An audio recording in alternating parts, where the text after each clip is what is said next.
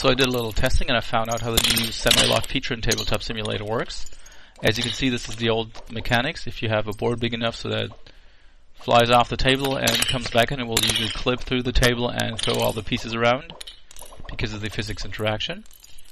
Now, if I will turn that new feature on for the semi-lock of all the pieces that are static, which means that all the pieces that are not moving will not be affected by any kind of physics interaction.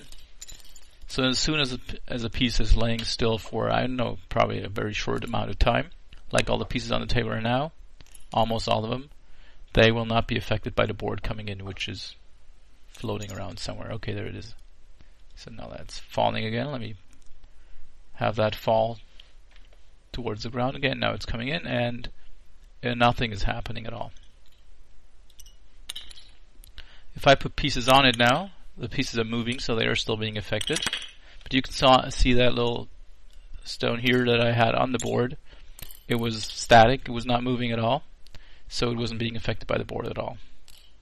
So there we go. This is how it works now. If you turn semi-lock on, all the pieces that are resting on the board will not get moved by anything else but your own interaction. If you move them yourselves, they will be affected again.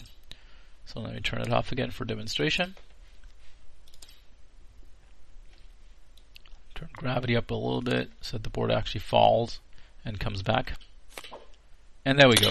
Things are being kicked off again. As soon as the board hits the table, everything's being thrown around.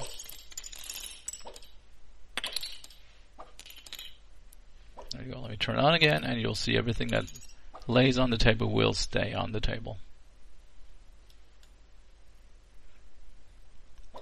As you can see, the volcano of angry playing pieces is immediately stopped.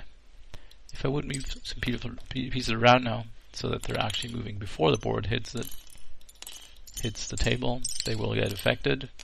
But of course now, since it's demo, I always go wrong like that. It doesn't happen. Oh, there you go. Okay. This is good example. Okay, now if I turn this off. There we go. Immediately, things are being thrown around. Okay, that concludes the little demo. I really like this new feature. Thanks for watching. Wonka out.